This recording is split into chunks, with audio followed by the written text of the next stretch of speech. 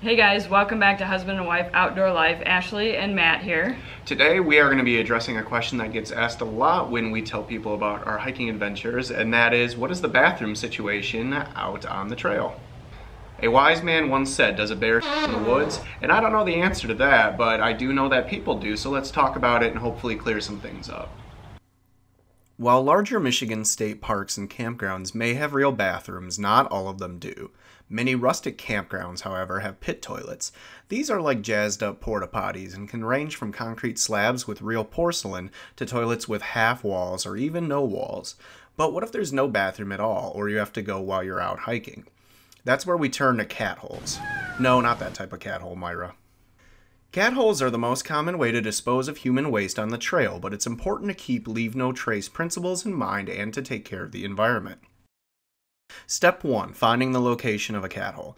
Cat holes should be 200 feet or around 70 adult paces or more away from camps, trails, and water sources. Make sure it is a place where you won't get visitors. Step 2 Dig a hole that is 6 to 8 inches deep and 4 to 6 inches wide. We use the Deuce of Spades lightweight shovel for this part.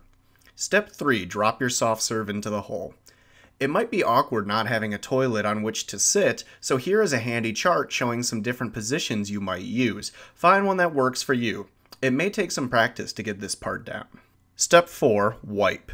You can use natural materials if you are brave, or you can use biodegradable toilet paper. Make sure that this paper goes all the way into the cat hole or gets packed out. Some parks do require that. Step 5 Conceal the evidence. Using the original dirt if possible, bury your shame, making sure the doo doo butter and toilet paper are fully covered.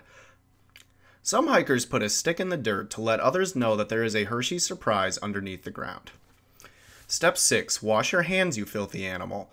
But please do not use soap in our waterways. This includes biodegradable soap. Having to go while hiking happens, but the goal is to make sure that you are away from people, water, camps, trails, and that you don't harm the environment. Thank you guys for watching. I hope that answers a very frequently asked question. If you guys have any other questions, let us know in the comments. Thanks so much for watching. Stay tuned for our next adventure. Because for now, we really gotta go. That there's a Hershey surprise underneath.